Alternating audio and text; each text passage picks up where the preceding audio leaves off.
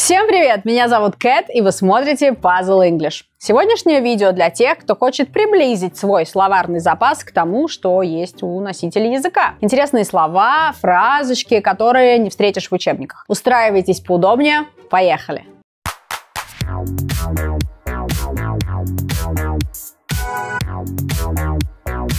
Первое слово звучит немного как имя индейского вождя. Полное ухо. An earful. Это когда кто-то очень долго, бесконечно говорит, отчитывает, выговаривает нам за что-то.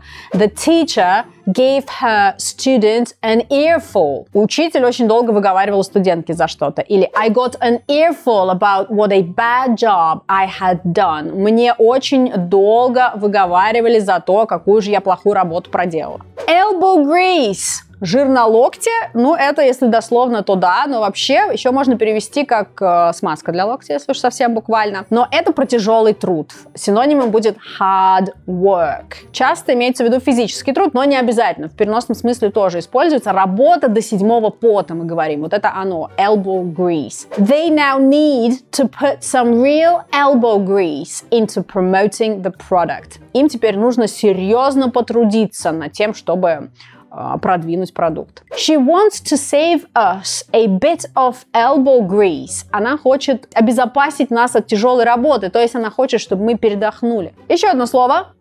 Fluke. Классное слово. Счастливая случайность, рандомная удача, везение какое-то. It was a fluke to find that money on the ground. Это была просто удача, это было просто везение вот так найти деньги на земле. Или that's more than a fluke, that's a trend. Это не просто разовое везение, это уже тренд. The fact that he guessed the correct answer was a complete fluke As he had no prior knowledge on the subject. Тот факт, что он угадал правильный ответ, было чистым везением, таким попаданием, да, пальцем в небо, потому что он до этого никогда даже не слышал ничего об этом. Похожее слово, но не путайте, с другим значением, то было fluke, а это flunk. To flunk – это провалиться на экзамене, завалить тест, вылететь с курса, из университета. Вот это все flunk. He tried going to college, but he flunked out after one year. Он пытался учиться в колледже, но вылетел через год. He thought he was going to flunk chemistry, but he got a C. Он думал, что завалит химию, но вроде как сдал на троечку. You're going to flunk if you don't study. Ты все завалишь, ты вылетишь, если не будешь заниматься. В зависимости от контекста, да? Что-то сегодня много слов на F, но это случайно. Freebie. Freebie — это когда тебе что-то досталось бесплатно.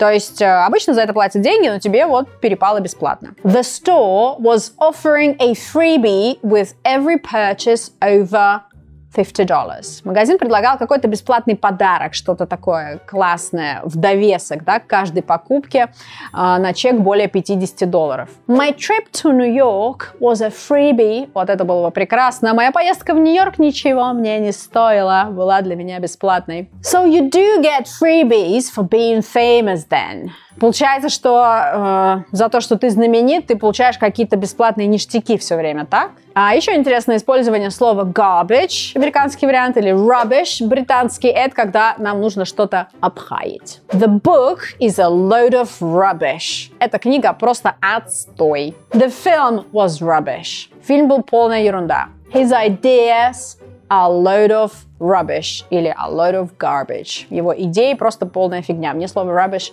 просто ближе чем garbage. Laid back – это на чиле, на расслабоне. Так можно описать э, что-то или кого-то. After a busy day at work, I like to listen to some laid back music to help me relax. После тяжелого дня на работе я люблю послушать спокойную музыку, чтобы помочь себе расслабиться. The company has a laid-back culture that allows employees to work in a comfortable and flexible environment.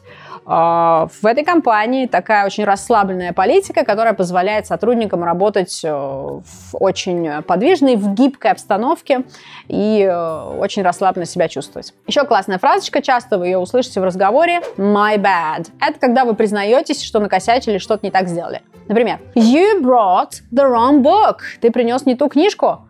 Ты говоришь, okay, my bad, I'll go get it. Да, действительно, Мой косяк. Пойду принесу то, что, ту, что надо. Bummer. Э, я перевела как «вот блин». Это какое-то восклицание досады.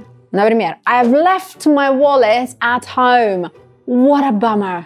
Я оставила свой бумажник дома. Ну что ж такое-то? Следующее слово rip-off. Обдираловка, когда что-то не стоит своих денег. Например, the food was decent, but the drinks were a rip-off. Еда была достойной, а вот э, напитки не стоили своих денег, да? Или ты можешь э, такое восклицание сказать It's such a rip-off. Это такая обдираловка. За что такие деньги? Вот такой смысл этого слова. И закончим мы с вами на слове ace. Туз, вообще-то. Ace Ventura, наверное, вы тоже помните. Но еще это слово переводится как excellent. Великолепный, классный, крутой. Например, she is an ace dancer.